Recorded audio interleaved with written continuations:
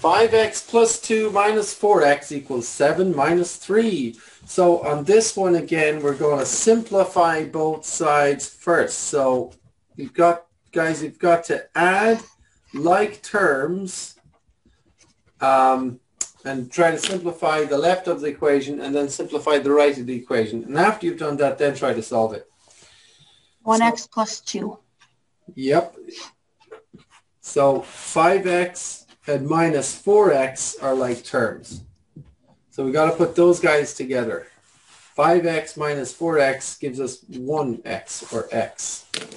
And then we've got a plus 2. 7 minus 3 is 4.